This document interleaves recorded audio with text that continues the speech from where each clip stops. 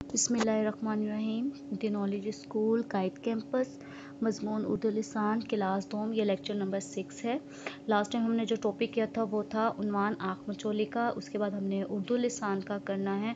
उर्दू लिसान का book work page number twenty seven पर आपको टॉपिक दिया होगा मुतजाद अल्फाज आपकी स्क्रीन पर सबसे पहले आपने इसको पेज रेडी करना है, जमात का काम। ये जो पेज है, ये आपका उर्दू लिसान का है। मुतजाद अल्फाज क्या होते हैं? यानी कि अल्फाजों की ज़िद बयान करना। जैसे सुबह, शाम, दिन, रात, रोशनी, अंधेरा, बड़ा, छोटा अच्छा गंदा। इस तरह से जब वो अल्फाज इस मुतजाद कहलाते हैं। खाली जगह में दुर मुतजाद अल्फाज लिखिए। आपको राइट ऑप्शन सात पे दिए गए हैं। सब मिलकर डैश खेले। बहुत या कम, हमारा राइट ऑप्शन है बहुत। उसामा ने कहा, मैं डैश हूँ, आ रहा या जा रहा? राइट ऑप्शन है, आ रहा। सब अपनी अपनी जगह से डैश निकल आए, अंदर या बाहर। हमारा राइट ऑप्शन है बाहर। इन अल्फाज के मुतजाद अल्फाज लिखिए।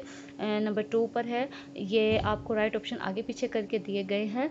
आपने जैसे ठंडा, गर्म, हल्का, भारी, दिन, रात, काला सफ़ेद, अंदर, बाहर नीचा, ऊँचा, सूखा, गीला, ऊपर, नीचे, भरा हुआ, खाली, बड़ा, छोटा। ये पेज कंप्लीट करने के बाद आप जाएँगे पेज नंबर ट्वेंटी एट पर उनवान खेल। ये उर्दू अदब का पार्ट है। ये एक छोटी सी नज़म है। इसके ऊपर आप ओरल लिखेंगे। देखें, मैंने पेज को रेडी किया हुआ भी है।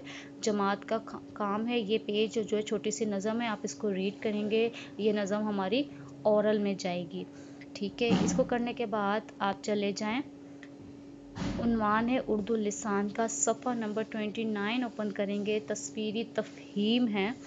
आपने इस पेज को रेडी करना है, जमात के काम, जमात का काम और उर्दू लिसान।